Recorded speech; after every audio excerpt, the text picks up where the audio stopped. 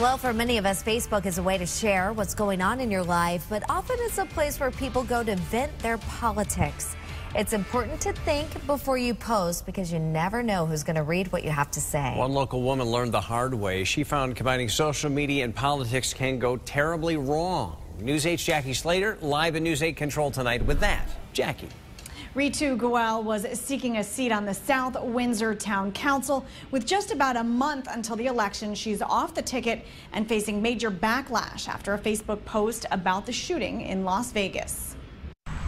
Ritu Goel, once a Democratic candidate for town council in South Windsor, withdrawing from the race after her reaction to the Las Vegas shooting draws major criticism from residents and town leaders. Just hours after 58 people were killed on the Las Vegas Strip, Goel posted this message to her Facebook page Prayers for Las Vegas. People in favor of guns should have been on that strip. Mayor Carolyn Merrick saying people have been calling her in town hall ever since people will come to know, if they don't already, that South Windsor is a very diverse and inclusive community. And um, any divisive or hateful words that are spewed are not welcome here. By Tuesday evening, the controversy here in town was growing. Goel came here to South Windsor Police and filed a report saying she was the one who was being threatened and harassed. Goel went to the station along with members of the Democratic Town Committee, saying responses to her post made her fear for the safety of her family. Deputy Chief Scott Custer says the post did not break any laws.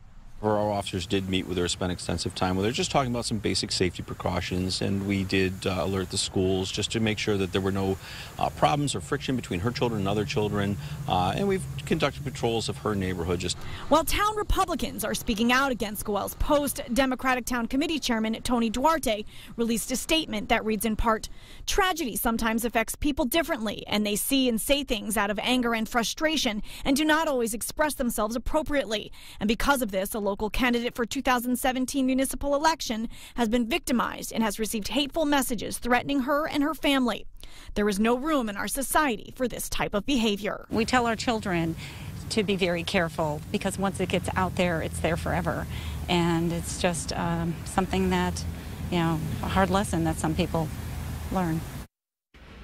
We did try to reach Goel for comment on this story, but her Facebook page does not allow messaging, and a phone number listed in her name no longer works. Live in News 8 Control, Jackie Slater, News 8. Thanks.